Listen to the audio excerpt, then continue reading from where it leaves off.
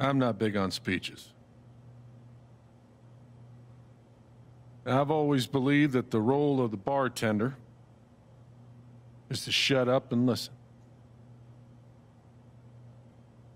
And by that measure, Gabe was the worst bartender I've ever known.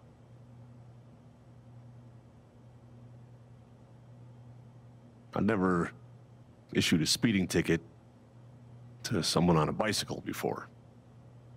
Till he came along. He cared so much about my admissions essay. Even though he probably couldn't spell admissions or essay.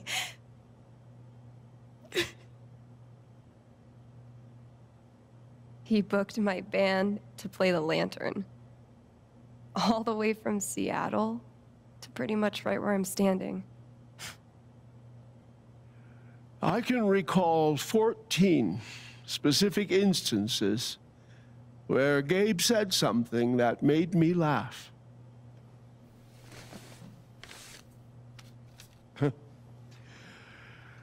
the first was two years ago.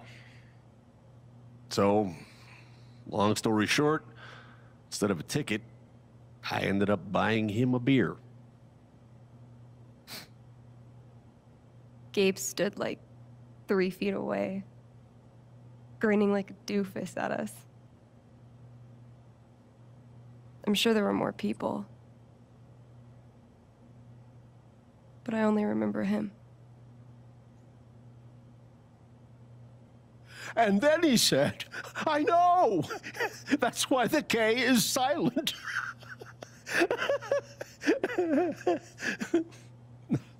uh, then the fifth time, He cared about everyone.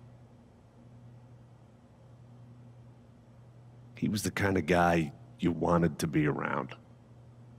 he was a world class bullshitter.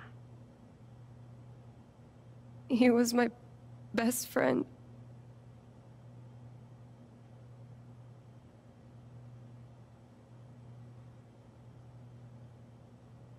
All I want to say about Gabe is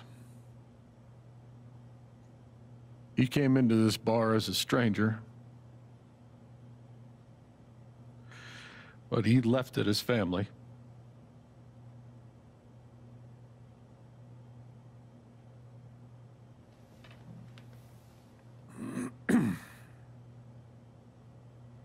Guess that's that then. What happened to Gabe was a senseless, tragic accident. And I just wish It that, wasn't an accident. son, now is not the time. Gabe called the mine. I gave him my sat phone to be sure he could get through. They fucked up. And now. Now Gabe's dead.